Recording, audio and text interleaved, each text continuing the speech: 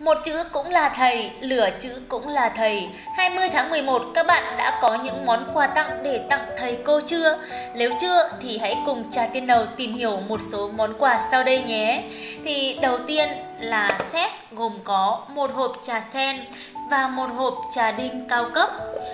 Trà đinh sẽ giúp thầy cô là bắt đầu một ngày làm việc mới thưởng thức một ấm trà đinh sẽ giúp tỉnh táo hơn cho một ngày làm việc và sẽ bắt đầu công việc mới hiệu quả hơn. Và trà sen thì sau mỗi ngày làm việc là thầy cô sẽ thưởng thức một ấm trà sen, sẽ giúp giảm căng thẳng, stress và giúp đi vào giấc ngủ ngon hơn. Set số 2 gồm có một gói hồng trà thượng hạng và một hộp trà sen thượng hạng. Hồng trà rất là phù hợp với các cô đấy các bác ạ. Đấy thì ờ, hồng trà sẽ giúp tiêu hóa tốt, chống não hóa, phù hợp cho các cô nhà mình thưởng thức để đẹp da đẹp dáng.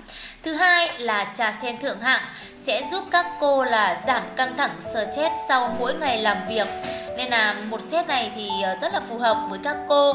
Và hôm nay trà tiên đầu có một ưu đãi rất là đặc biệt là khi quý khách hàng chúng ta mua một trong hai set trên sẽ được tặng một cái hộp lụ trầm bách xanh và một cái chiếc sông trầm để cái mùa đông này vừa thưởng thức trà vừa sông trầm giúp cho chúng ta thư thái, giúp cho chúng ta là sẽ giảm cái căng thẳng stress, rất là dễ ngủ. Và các bác nhà mình chúng ta có thể nhanh tay đặt hàng nha và ưu đãi này thì sẽ đến hết ngày 20 tháng 11 ạ.